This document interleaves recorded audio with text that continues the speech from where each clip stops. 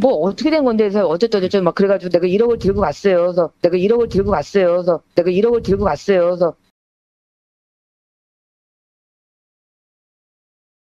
이 증거라는 걸 아주 환장을 하겠어. 증거가 하지 응.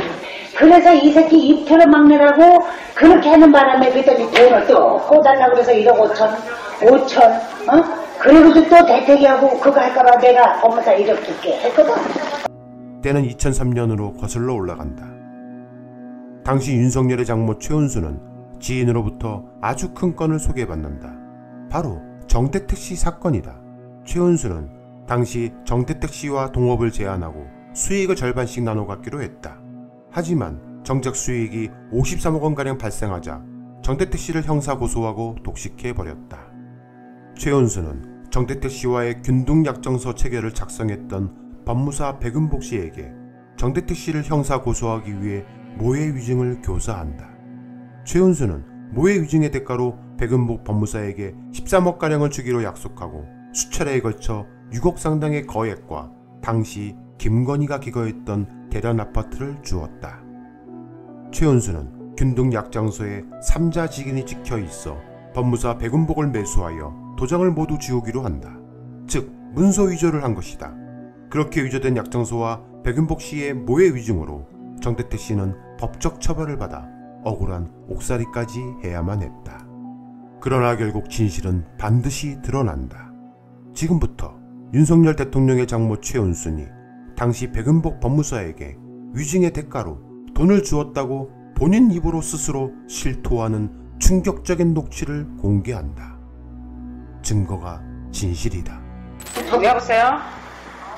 어, 나 저 여기 명신내 왔어. 어, 아, 아직 아, 저 그 끊어. 내 저, 나갔다가 내가 지금 누구 만나기로 해놓고 지금 여기서 저기 내가 여기서 거쳐서 이렇게 가려고 지금 그렇게 해놓고 왔으니까 거기 갔다가 내가 거기서 볼일 보고 전화할게.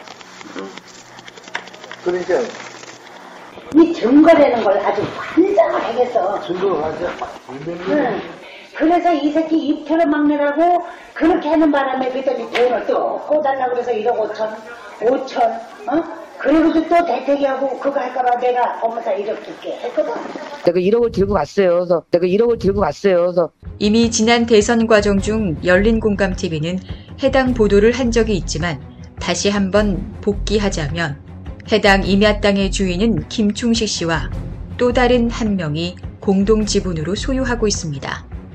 바로 윤석열 대통령의 장모 최은순 씨와 정대택 씨 간의 분쟁 소송에 있어 정대택 씨에게 유리하게 진행되던 최은순 씨와의 1심 소송을 뒤집고 2006년 3월 피해자 정대택 씨를 오히려 범죄자로 몰아 징역 2년의 실형을 선고한 윤남근 전 판사의 부인 보영란 씨가 해당 임야 땅을 공동 지분으로 소유하고 있었습니다. 윤남근 전 판사와 그의 부인 고영란 씨가 김충식 씨에게 송정동 땅을 구입하는 명목으로 거액을 보낸 계좌를 공개하도록 하겠습니다. 바로 이것이 증거입니다. 자, 보시는 예금 거래 내역서에 있는데요. 예금 계좌주는 상단을 보시면 김자, 충자, 식자 예금 주명에 김충식이라고 되어 있고 관리점은 송파농협, 송파나루역 지점으로 되어 있는데 아래쪽에 쭉 보시면 고영란, 고영란, 윤남근, 고영란, 고영란, 윤남근, 고영란, 고영란, 윤남근, 윤남근, 윤남근, 윤남근, 윤남근 해서 거액들을 계속 보냈는데요. 대략 보시는 바와 같이 3천만 원, 1억 9천만 원, 1억, 3억 2천만 원, 6천만 원, 4억, 3천만 원, 2억 2천만 원, 2억 5천만 원, 5천만 원, 1억, 1억 등 약 20여 원을 보냈습니다.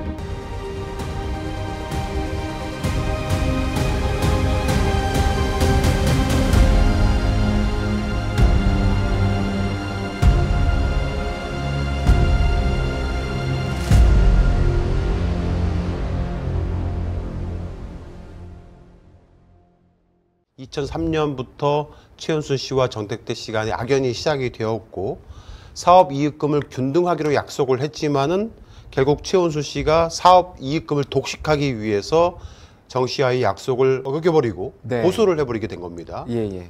어, 약정서를 이제 강요에 의해서 썼다라고 하면서 네. 강요죄 등으로 고소를 하게 됐고 이런 과정에서 입회를 같이 했었던 정택태 선생님의 중학교 동창이고 고향 동창이었던 백은복 법무사 지금은 고인이 되셨는데 네. 예, 그분을 매수를 합니다. 네. 매수의 대가로 이제 에, 백은복 변호무사에게 에, 김건희 씨 명의의 아파트 그리고 아, 2억 원 정도의 거액을 건네주기로 약속을 했던 건데 그것조차도 어겨버린 겁니다. 그 약속을 네. 지키지 않아서 네. 결국 백윤복 법무사는 양심 선언을 하게 된 겁니다. 하지만 검찰과 법원은 정대택 씨와 백운복 법무사를 구속시켜 버립니다. 네. 결국 정대택 씨는 또다시 2년간 억울한 옥살이를 해야만 했고요. 이러한 과정에서 검찰과 법원이 조직적으로 개입을 한 것이 아닌가라는 의혹이 그동안 쭉 있었고요. 네.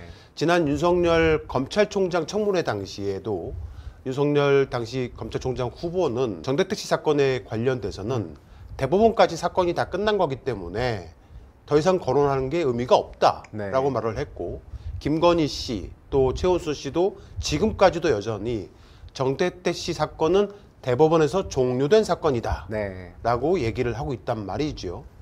하지만 오늘 저희 열린광 TV는 결정적으로 2심 재판부 당시 윤남근 판사의 재판이 굉장히 문제가 있었다라는 것에 대한 결정적인 증거를 네, 오늘 제시하려고 합니다. 자 슬라이드를 보시면요.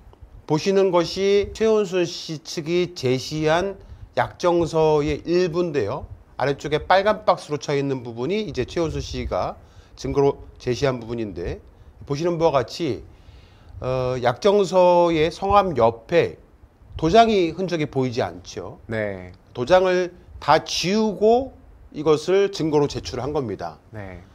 그래서 어, 검찰이나 재판부로 하여금 정택택 씨의 강요에 의해서 약정서를 쓰기는 했지만 도장을 찍지 않았다 라는 것이 이제 최원수 씨의 주장이었는데 네. 정택택 씨는 이것이 사문서가 위조됐다라고 네. 판단을 해서 사문서 위조죄 등으로 최원순 씨를 고소하게 된 겁니다. 그렇죠. 네. 저 그 도장이 원래 찍혀 있던 건데 정대택 그렇죠. 씨 주장은 네. 찍혀 있던 건데 어 자기가 강요, 그러니까 최은수 씨 입장에서는 자기가 강요를 당해서 음. 그 쓰긴 썼지만 도장을 찍을 정신도 없었다. 그렇죠. 뭐 그래서 네. 일 1대1로 50대 50으로 나눈다고 하는 거는 정대택 씨의 어떤 강요에 의해서 어쩔 수 없이 합의한 것이기 때문에 이것은 성립한다고 볼 수 없다. 이거는 자기가 동의한 것이 아니다. 이런 주장이었습니다. 네. 근데 이제 이게 나중에 사건이 병합이 되는데 정말 어이가 없는 것은 검찰은 당시 검찰은 최은수 씨가 정택대 선생님을 고소한 사건, 네. 그러니까 강요죄에 의거해서 고소한 사건에는 최은수 씨가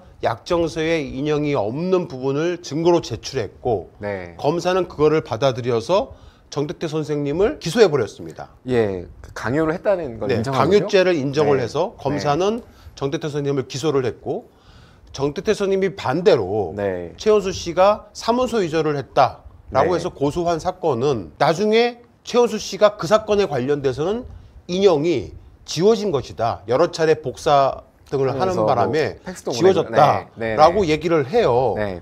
그런데 재판부가 그 인형이 희미하게 보인다. 여러분 다시 한번 화면을 보시면 화면에 보시는 그 도장의 인형이 보이십니까?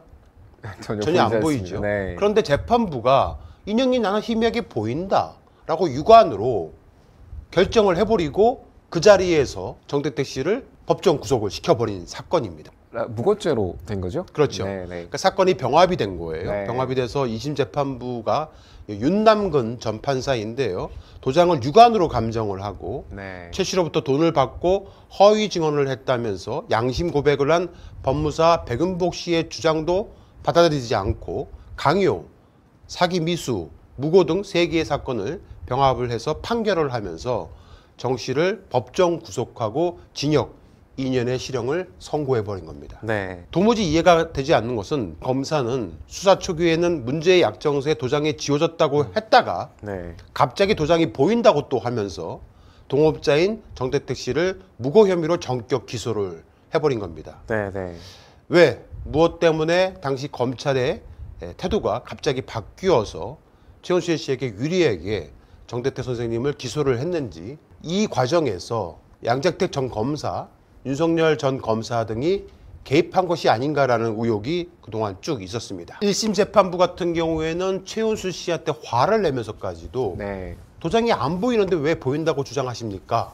라고 말을 했었었고 네. 정태수 선생님한테 되게 유리하게 판사가 진행, 진행 을 하고 있었기 때문에 당연히 2심 재판부도 어, 정태수 선생님이 역전을 할 것이라고 생각을 했던 것은 백운복 씨가 네. 마음을 바꾸어서 양심 선언을 했기 때문에 그렇기도 합니다. 그렇습니다. 네. 그래서 2심 재판이 열리던 날 단 한 번의 공판만 하고 네. 두 번째 재판이 열렸을 때부터 자세하게 여러 증거를 제출하게 되면은 그 증거를 토대로 해서 공판을 진행하겠다라고 약속까지 했었는데 네. 더 이상 아무 증거도 받아들이지 않고 그 두 번째 공판에서 바로 결심을 해버리십니다. 네. 네. 바로 맞습니다. 결심을 해가지고 정대태 선생님을 전격적으로 법정 구속을 해버리게 된 건데 네. 예. 그날 정대태 선생님은 양복 입으시고 네. 차까지 몰고 가셨어요. 그 예상을 못 하신 거죠. 네, 차까지 주차를 법원에 해놓으시고 네. 들어가셨는데 바로 재판부에서 법정 구속이 되어버렸던 거죠. 네, 맞습니다. 자, 바로 그 당시 2심 재판관 바로 이 사람입니다. 윤남근 전 판사입니다. 이분은 판사를 그만두고 고대 법학 전문대학원 교수로 갔다가 대법관 후보로도 추천이 됐던 사람입니다. 이런 사람이 만약에 대법관에 올랐다라면 대한민국이 어떻게 됐을까? 참으로 아, 지금 생각해도 아찔한 일인데요. 당시에 대법관 후보로 추천이 되었을 때 정대태 선생님 등이 진정서 등을 내고 이의 제기를 하자 이 윤남군 전 판사는 정대태 선생님한테 괴롭힘을 당했다고 주장을 하고 있습니다. 네. 그리고 어, 윤남군 대법관 후보자가 어, 정시 판결문을 허위 작성했다는 의혹으로 인해서 여러 가지 이제 결국 문제가 돼가지고 대법관 후보에서 네. 낙방을 하게 된 거죠. 네. 아무래도 윤남군 전 판사의 입장에서는 정대태 선생님이 굉장히 많이 미울 겁니다. 그래서 대법관을 못 되게 했으니까요, 자신이. 그렇죠. 자, 그래서 저희 서정필 기자께서 윤남근 전 판사, 지금은 변호사죠? 네, 변호사로 일하고 있습니다. 네. 윤남근 전 판사와 통화를 해 네. 보았습니다. 네. 여보세요? 아, 예, 윤남근 변호사님이시죠? 예, 맞습니다. 예, 저는 열린공감TV 서정필 기자라고 합니다. 예, 열린 공감의 누구시라고요? 예, 저 서정필 기자라고 합니다. 아, 예, 예, 예. 예. 그 제가 그 김중식 선생님 관련 취재를 좀 하고 있는데요. 그, 취재 거기, 관- 거기 있잖아요.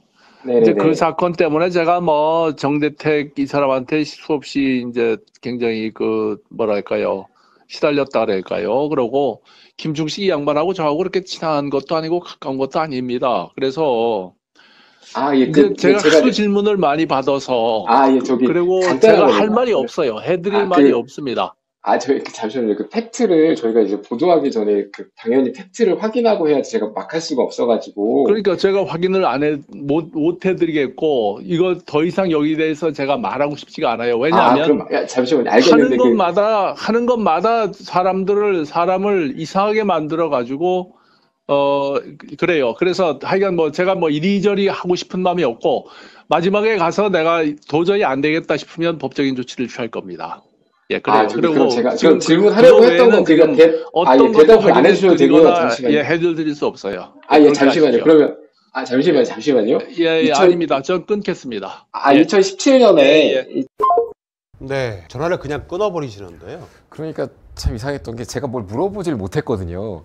그러니까 어떤 사안에 대해서 확인을 좀 해주세요. 이게 사실입니까? 라고 물어보면 뭐 그 건에 대해서는 답을 못 하겠습니다 하면은 또 납득이 좀 가는데 네. 제가 지금 들으셨듯이 물어본 게 없거든요. 네. 근데 갑자기 열린공감 TV이고 김중식 선생님 관련된 취재를 하고 있다까지밖에 안 했어요. 그러니까요. 그런데 갑자기 뭐 정대택 선생님 이름을 먼저 얘기하고 뭐 많은 시달림을 당했고 그러니 혼자 사- 하고 싶은 말씀만 하시더니 갑자기 끊으셨습니다.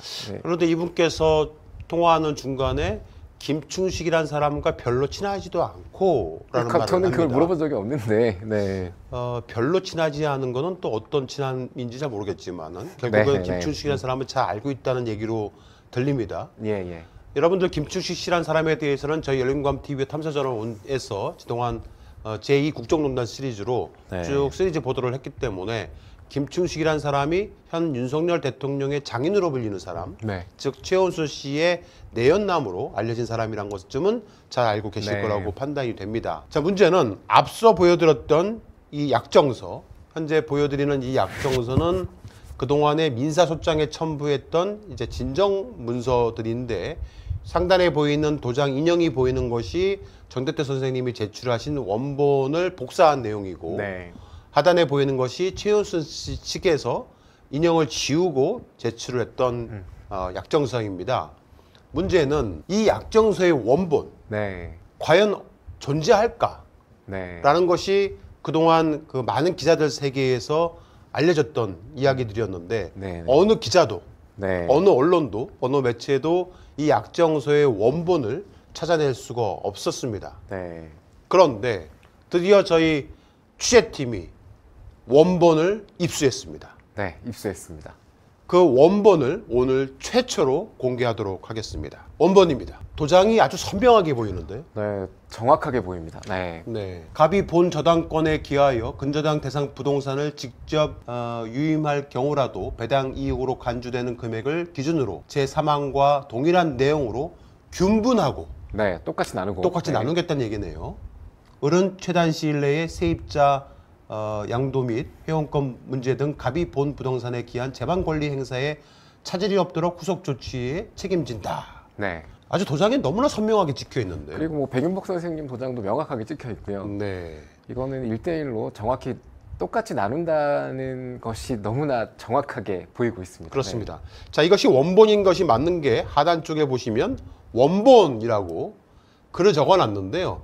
저 필체의 주인공이 바로 김충식 씨입니다. 네. 김충식 씨가 원본이라고 자신의 자필로 서명한 것, 그리고 이렇게 인형이 선명하게 찍혀 있는 것, 이것이 증거입니다. 네. 자, 저희 열린감 TV는 지난 김충식 씨 제2국정농단 시리즈 관련해서 저희가 쭉 보도를 했었는데 과연 김충식 씨가 왜 이 판사 윤남군 판사와 연계가 되어 있는지 그것에 대해서 아직도 잘 이해를 못하고 계시는 분들이 있으실 것 같아서 어, 저희 시리즈 보도 중에서 김충식 씨와 윤남근 전 판사가 정대태 선생님을 법정 구속시킨 윤남근 판사와 어떤 관계였는지 저희 보도 중에 한 부분을 한 6분 정도 되는 부분인데요. 다시 한번 시청을 하도록 하겠습니다. 바로 서하남 가밀 JCT에서 시작되는 서울 양평간 고속도로는 경기도 북광주 JCT를 지나 남종 IC를 거쳐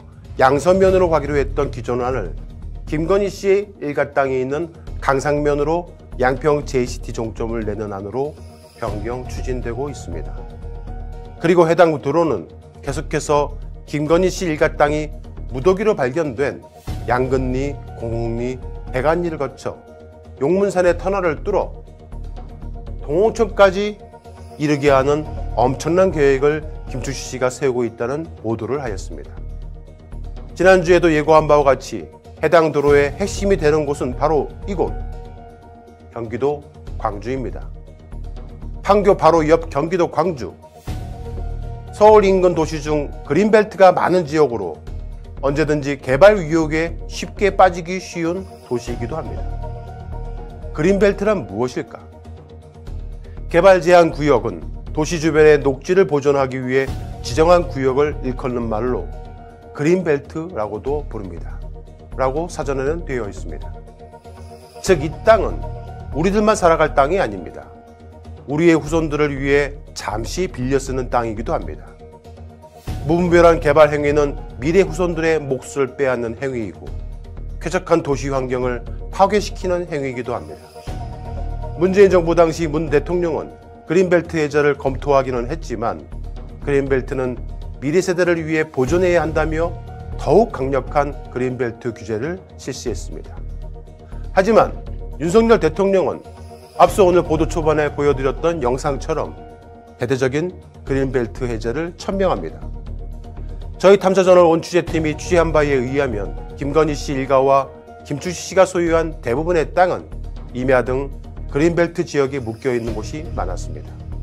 바로 이곳 광주에서 김추시 씨는 누구도 해낼 수 없는 마법 같은 마술이 펼쳐집니다. 거기에 그, 그, 큰 산을 뚫고 들어와 나와.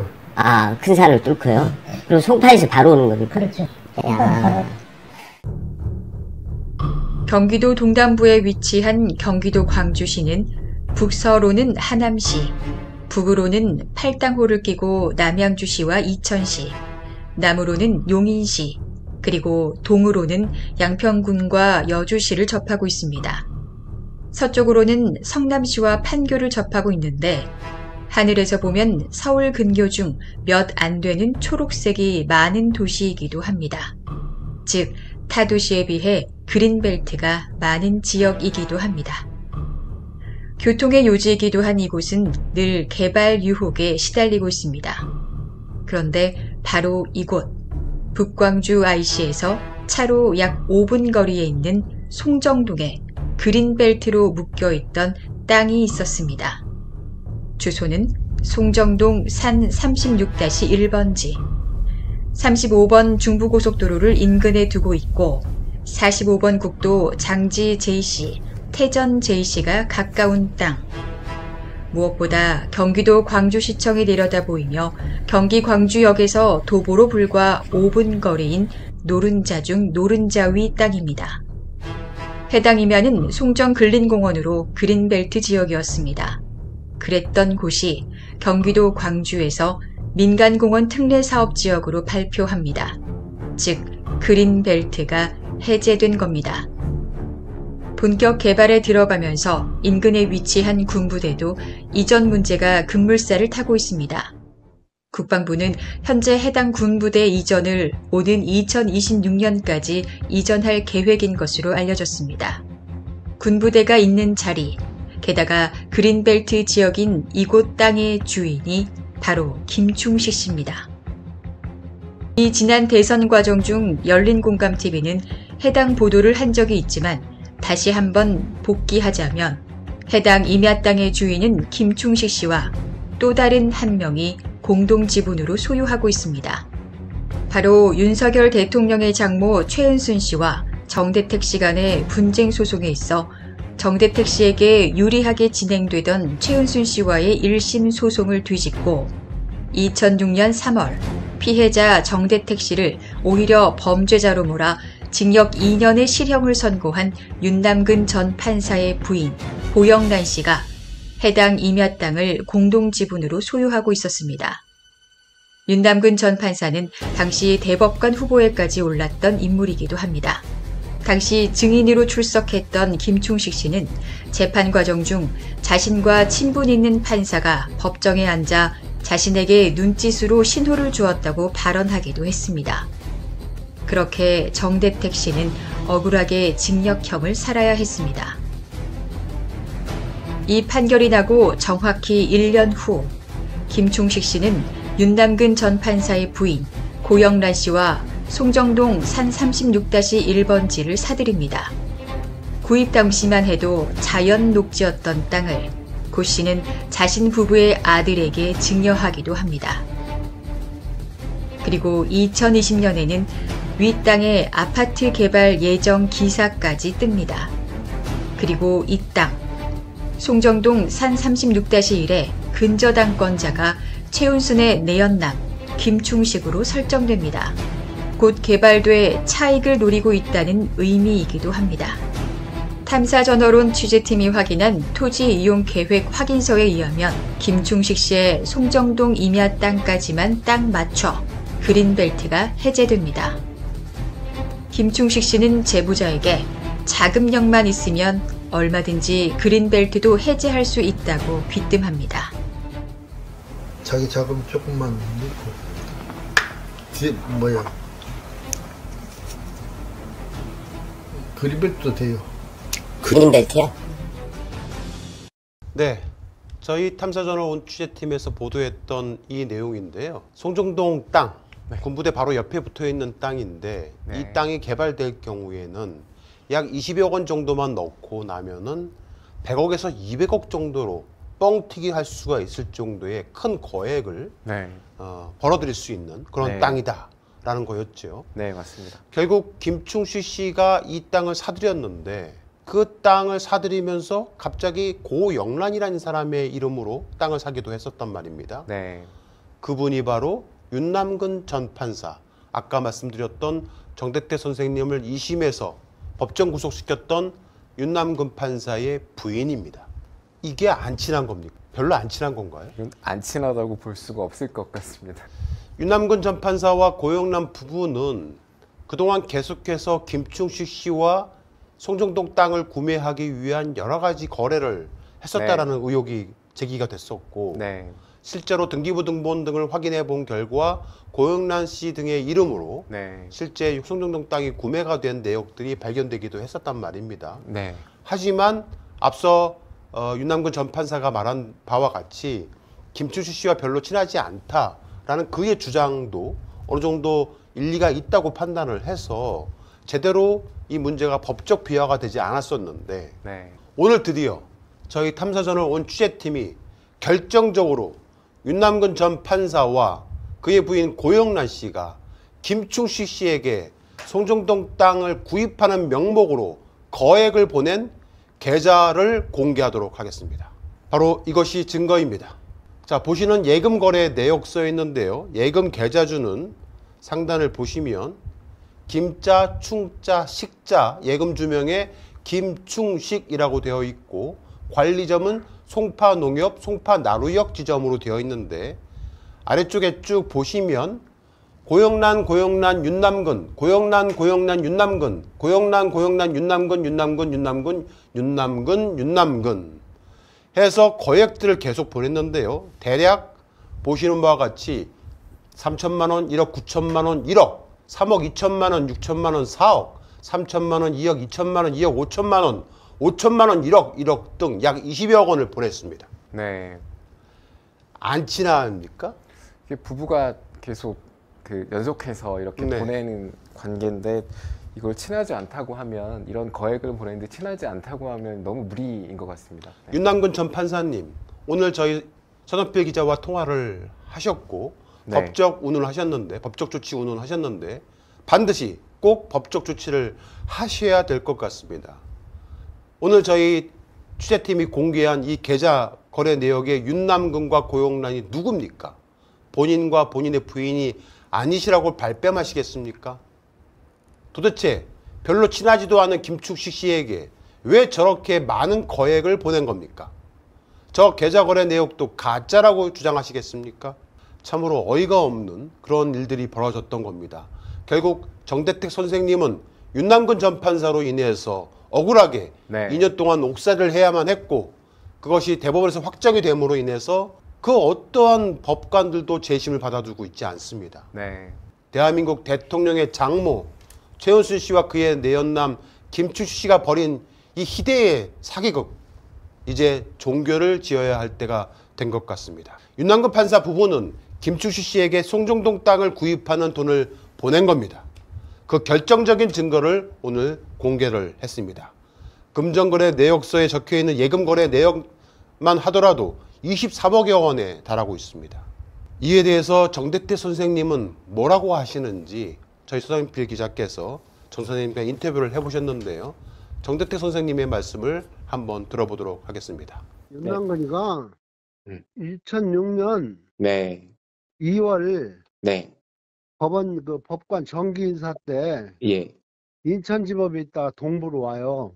음, 네, 와가지고 내 항소심 1심 재판 3개가 병합된 저 항소심 사건 재판장 이제 합의부니까 재판장이 돼가지고 네. 처음에는 와 오자마자 뭐 증거도 내라고 그러고 막 저 증인도 신청을 하고 해놓고는 하니까 뭐 결심하는 거예요 재판을 하지도 않고 그냥 저 같은 경우는 한마디도 그냥 한마디는 그냥 어 진역 인연하고 그냥 구속 시켜버린 거예요. 아주 나쁜 놈이죠. 그, 네. 저, 저, 저, 판결문을 받아보니까 전부 다 거짓말로 뭐 백지에 도장이 보인다고 했고 1심에서 증언했던 최은순 김충식이가 위증으로 처벌을 받아서 받았는데 그런 사람들 증언이 내 정대택이 유죄가 되는 증거다. 그 법무사는 2심에서 그 항소심에서 예, 자백을 했어요. 1심에서 이렇게 돈 받고 내가 그 거짓말로 위, 위, 예. 뭐 정대택을 모함했다. 그랬는데도 증인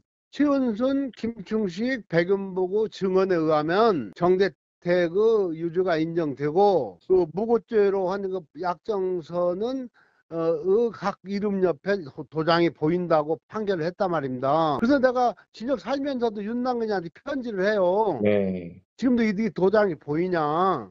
그래서 윤남근이에 대해서 저보고 평가하라면은 철천지 왼수죠. 그런 왼수도 그런 왼수는 없죠. 음. 응? 네. 그런데 이제 열린 공감에서 우연찮게 네. 그런 증거를 찾고 했다니까 저한테는 어, 고맙고 이제 어떠한 또 새로운 계기가 됐구나 이렇게 보고 있는 거죠. 예. 네. 자, 진짜 너무나 억울하실 것 같아요. 네. 이게 징역 2년이라는 것이 굉장히 긴 세월이거든요. 그렇죠. 지금 최은수 씨는 1년 장고증명서 위조 혐의로 1년 옥살이를 했다가 그 1년도 다 채우지 않고 네, 9개월 만에. 네, 네. 가석방으로 풀려나지 네. 않습니까? 네, 네, 네. 그런데 우리 정대 선생님이 2년을 만기로 채우시고 형기 네. 취소를 하셨거든요. 네, 네. 얼마나 억울하실까요?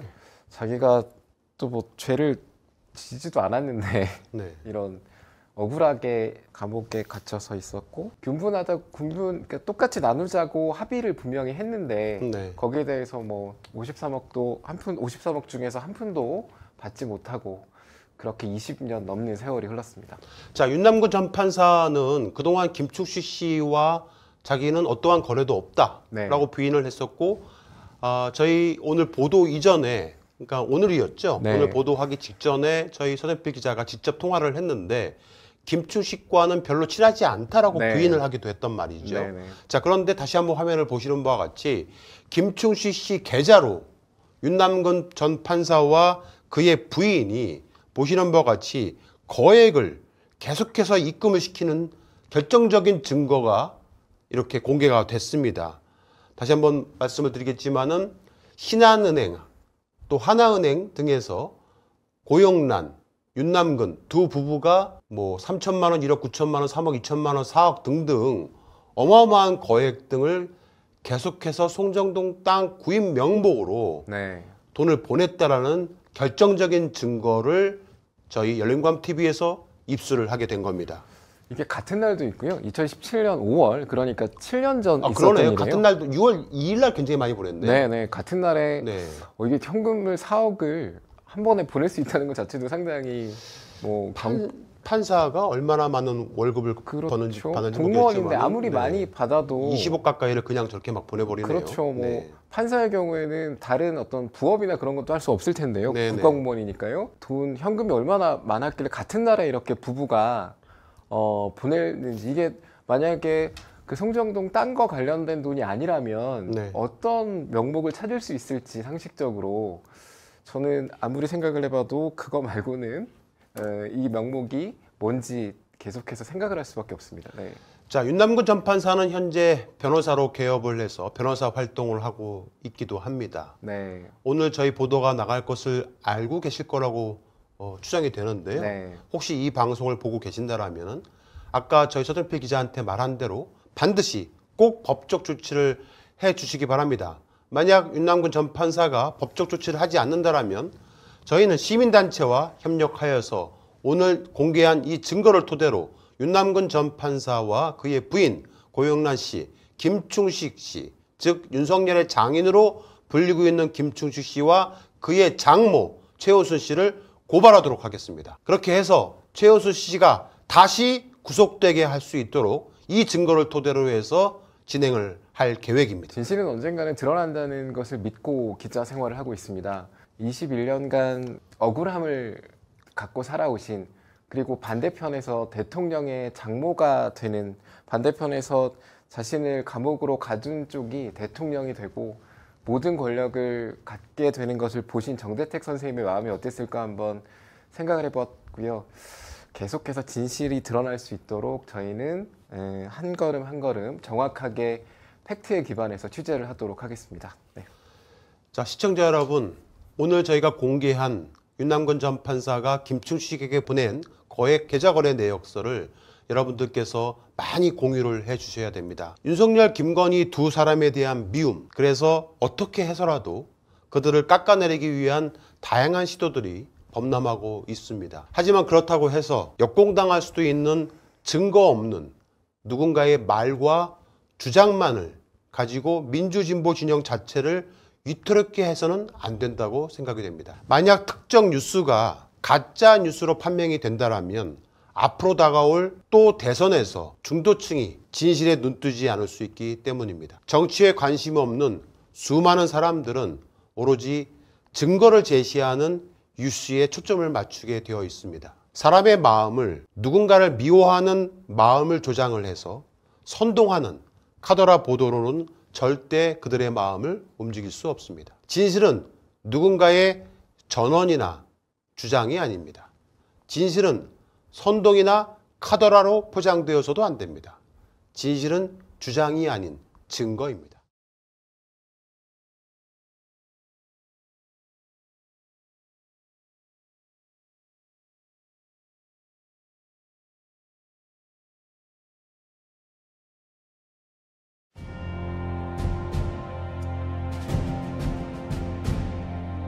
언론의 사명은 반드시 물어야 할 질문을 던지는 것에서 출발합니다. 열린공감TV와 탐사전을 오는 정치 권력, 자본 권력 등 그들의 이권과 카르텔을 감시하기 위해 반드시 의혹에 대해 질문하고 진실을 알리겠습니다. 열린공감TV와 탐사전을 오는 시청자 여러분의 후원으로 운영됩니다. 최근 여러 내부 상황으로 매우 경영상 어려움에 처해 있습니다. ARS 전화 1877-0809를 누르신 후 안내 멘트에 따라 정기 후원에 가입하여 주시길 부탁드립니다. 또는 우리은행 1045-704-387412 국민은행 787201-04-247879의 후원 계좌를 통해 일시 후원 및 정기 후원도 가능합니다. 그리고 안내에 따라 해피 나눔의 필수 항목이라고 붉은 글씨로 되어 있는 것 등에 기입하여 원하는 금액을 입력한 후 서명하여 신청하기 버튼을 클릭해 주시기 바랍니다. 열린공감TV와 탐사전을 온해 모든 영상의 더보기를 클릭한 후 기재되어 있는 ARS 후원 안내 1877-0809및 우리은행 국민은행 계좌를 통해 시청자 여러분의 소중한 후원을 기다립니다. 열린공감TV와 탐사전을 오니 오로지 진실 그 하나를 위해 항해해 갈 수 있도록 시청자 여러분이 함께 승선하여 길잡이와 등대가 되어 주시길 부탁드립니다. 감사합니다.